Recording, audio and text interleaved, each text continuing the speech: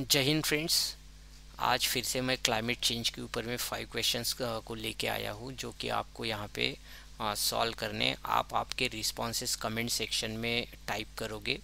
सो so, हम इन questions को क्यों यहाँ पे एज एन क्वीज आपके लिए प्रोवाइड कर रहे हैं? तो इसके पीछे साफ़ साफ़ हमारा एक ही ऑब्जेक्टिव है कि किसी भी टॉपिक के डेप्थ को आप समझो और पेपर में किस टाइप से क्वेश्चन किस टॉपिक के ऊपर में आ सकते हैं।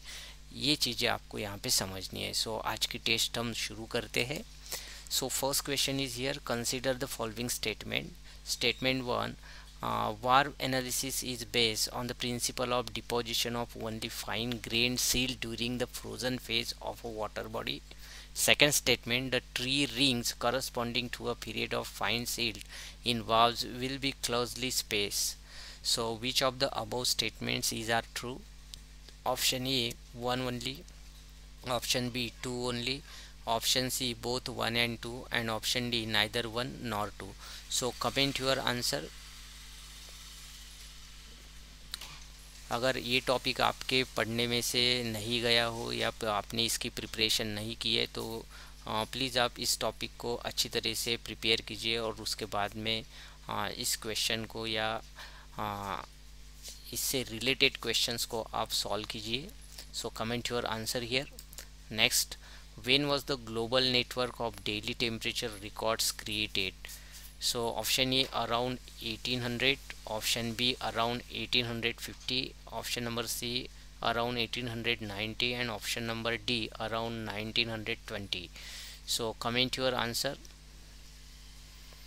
next question during the recent phase of global temperature increase the northern hemisphere experience a higher rise in temperature than the southern hemisphere. It was a result of option a greater extent of landmass in northern hemisphere than in southern.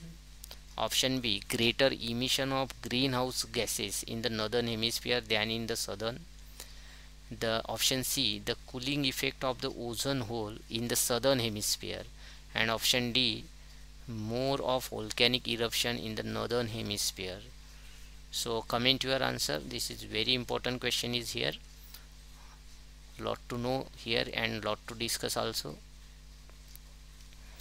So coming to your answer next question. Consider the following statement. Statement 1 deep ice cores are studied to look into climate changes in the past. Statement 2 ice layer of the Arctic region are specially rich in the fossils that help construct the past climate. So which of the above statement is are true? Option A 1 only, option B 2 only, option C both 1 and 2 and option D neither 1 nor 2. So comment your answer. So last question, next question. Consider the following statement. Fossils found in sediments provide proxy evidence about the ancient climates and climate changes and the second statement is here they are especially suitable sources of information for period before uh, Cambrian era. So which of the above statement is are true? Option A 1 only. Option B 2 only. Option C both 1 and 2 and D option D neither 1 nor 2 so comment your answer. So I hope you have submitted your responses here